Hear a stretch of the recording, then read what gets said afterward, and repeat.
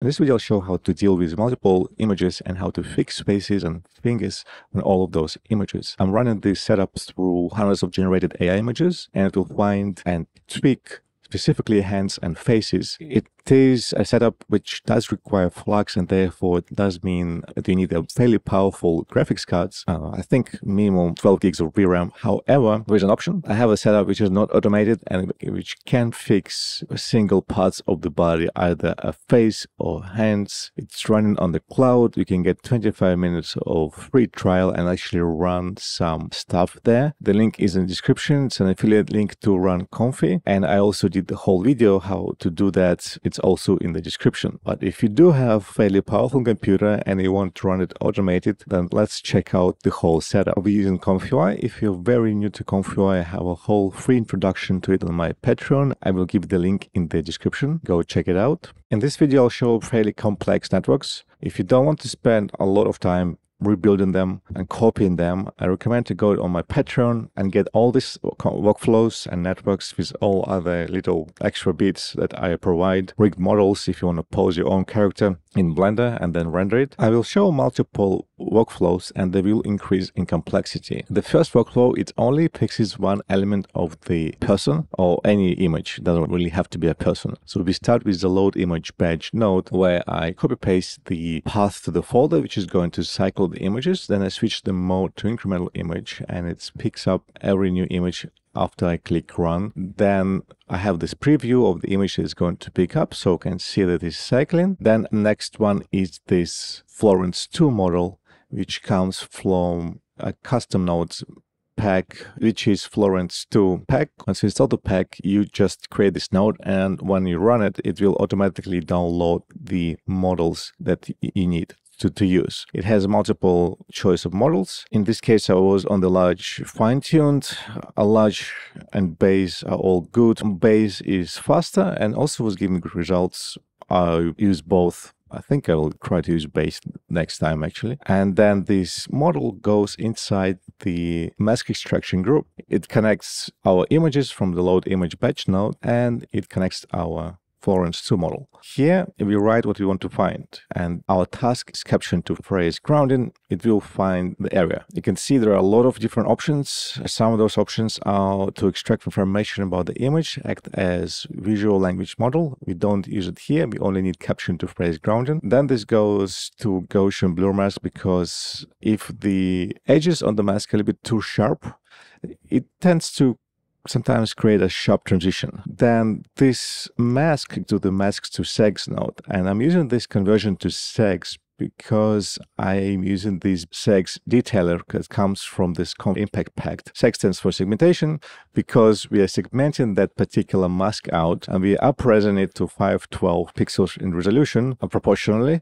And that gives us more resolution to render the hands or faces and therefore we get a better result. And usually this problem with hands happened because the resolution of the image is not enough say if I only render the portrait of this person with the hand on the neck and it will fill up all the pixels here, we will get actually very nice hands. But when we do full figure, there are not enough pixels to get the hands or faces really good or really right. I mean, in this particular case, the, the face was good, the hands were not. And this detail has positive prompt coming in. Positive prompt is connected by the clip model to our dual clip loader where we are loading two models that we have to use to run this setup. You can see here, I was dealing a lot with like two hands, five fingers. Even if there's only one hand, it will still run this prompt uh, as normal. The negative for blank, we don't need it. And I have this flux guidance that helps to pipe this request back to our detailer. And another option that we have here, we have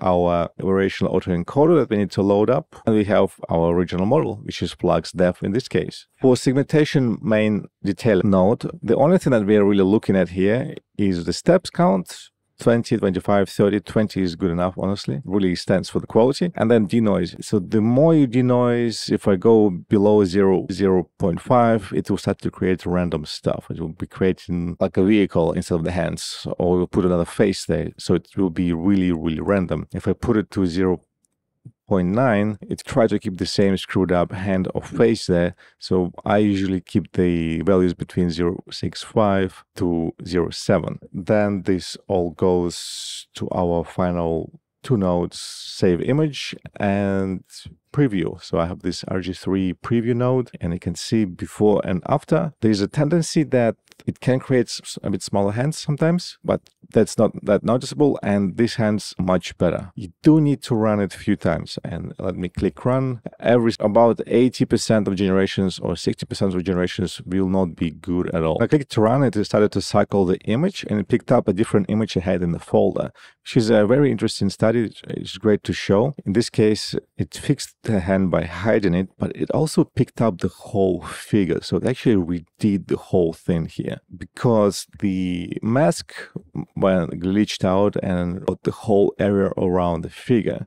If I actually typed in something like person, this would have been the mask that it would create. Uh, it, it does happen sometimes. In this case, it was actually quite a nice edit. You can see the face is now nice. Everything going to improve. The, the feet are nice. The design of the suit changed quite a bit. But this is why you want to run this model continuously over 100 generations to then cherry pick the one that is going to be the best. This is the example where the hands got actually worse than they used to be. You have to keep running and keep running. The second workflow, this is where we pick up the face as well. So the first top part is the one I showed before. This is the same setup. We have our Florence model that's masking the part of the image and getting that segment. All looks more complicated, but this is the same thing eventually. We're just cascading the same setup. I have my load image batch that then, and I have that load Florence model that goes at the top to the hands identifier, so mask extraction for hands, looks for that, then it goes and fits it into the detail, the segmentation detailer, and I can see how the hands were treated here. And I did run a couple times to get a better look. The hands are almost there. You can see that hand, that finger is a bit screwed up, but I would, I would maybe run it a couple more times. But that top hand is great. We have that image, and then what we're doing first, we need to find and mask the face out. So this is the same image coming from load image batch node, the same model, you don't want to duplicate any nodes with models because every node with a model will be kept in memory. So if you duplicate it, it uh, fill up the memory very quick of your graphics card, and you don't have to. You can reuse the same model in multiple nodes uh, and run it efficiently. This is the mask extraction for face. I'm looking for the face. It finds it here. Then it goes to the segmentation. This is the second segmentation node. We have our first segmentation node, which did the hands we created the image. That image then goes down to the second segmentation node that is now dealing just with the face. And then I can use this rgthree compare for the face. Okay, you can see the face got all basically became human before it wasn't. And I'm comparing before and after with the original image. I'm not comparing before and after with the image of the hands that were done. In this way, you can then take this image and you can carry on and cascade it and say, fix something else, or fix the boots, or fix the background. And you can keep on fixing and fixing image. It does get a bit impractical pretty quick. I think fixing two things, two main things, hands and faces is the biggest focus. But this is how it works. We have cascading system of segmentation nodes. Again, if you don't want to build this, it's on Patreon. You can get it there. And then I have this monstrosity. It is a bit unnecessary setup. So I'm using that cascading two seg- segmentation nodes to find faces and fix hands and faces. And this is basically three folders. And it was more of a test to see how we could set up three folders to run and find different stuff in those images in all three folders and how that can actually work. And the most important thing here is that we are using the same Florence model and the same dual clip loader, and we're using the same variable encoder VAE model, and we're using the same flux dev model for all of them. They just replugged into all of the segmentation nodes. I don't think there is much need into these setups, this particular setup.